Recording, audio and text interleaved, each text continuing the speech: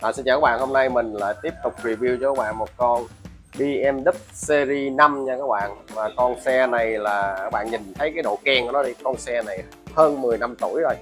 Có nghĩa là xe này là đời 2013 đăng ký 2014 tính tới giờ này là à, cũng tròn 10 năm luôn rồi đó. Các bạn thấy nhìn cái sao ban không? Anh chủ xe này vô cùng kỹ luôn Anh nó rửa xe AB hàng tuần luôn. Và đợt này anh tới anh chăm sóc dọn lại nguyên con xe của anh đó. và bây giờ mình sẽ giới thiệu một số gói dịch vụ mà đợt này AB làm ha. Um, đợt này mình đã đánh bóng và phủ ceramic lại cho anh nó toàn bộ hệ thống sơn và kính nha để lấy lại cái độ bóng sắc sảo cho bề mặt sơn xe.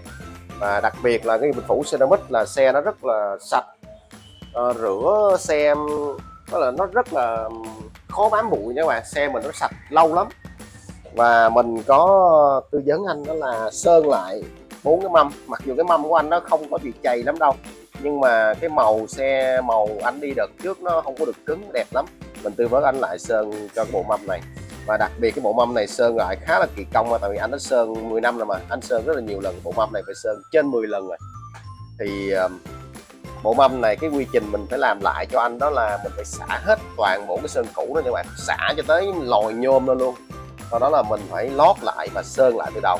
Làm như thế này rất là tốn công nhưng bù lại mình sơn lên cái lớp này nó rất là đẹp. Nó đẹp như cái lớp sơn zin ban đầu vậy đó.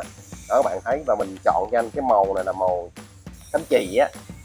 Đó chì làm cho cái xe đi với cái tông trắng này là cực kỳ cứng luôn cực kỳ đẹp.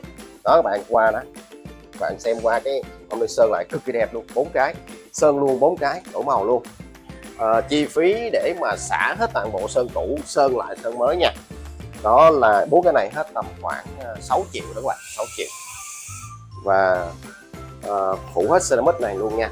Rồi một số các cái dọn dọn khoang máy rồi dọn lại nội thất của anh đó là việc khảo anh này kỹ lắm nè cho mình cho coi các bạn coi cái nội thất này Đây, 10 năm rồi mà nội thất khủng hoảng luôn.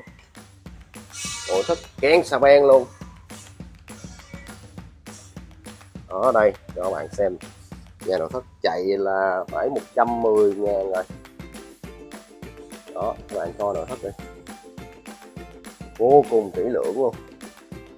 Giờ anh đem xe tới mình chỉ dọn nhẹ lên cái là xe nó mới ken sao em rồi. Nói với mình xe này chỉ cần nhả ra một cái là có người mua liền nha các bạn. Khủng khiếp luôn. Đó nên nên mình bản chất là của bên tại người thôi các bạn. À, xe mình sử dụng một thời gian mình cần phải đi bảo dưỡng chăm sóc nó giống như mình chăm sóc chính mình vậy thôi à, ngoài à, bề mặt sơn là kính là lớp mâm vỏ sơn mới làm cái là sẽ là lại mới lại như mới nữa các bạn. Rồi các bạn muốn biết thêm một số gói mà dọn xe ở bên AB có thể lên website abkk.vn hoặc gọi điện số hotline 1900 252526 để có mức dịch vụ tư vấn cho các bạn. Các gói dọn xe ha. Chào các bạn.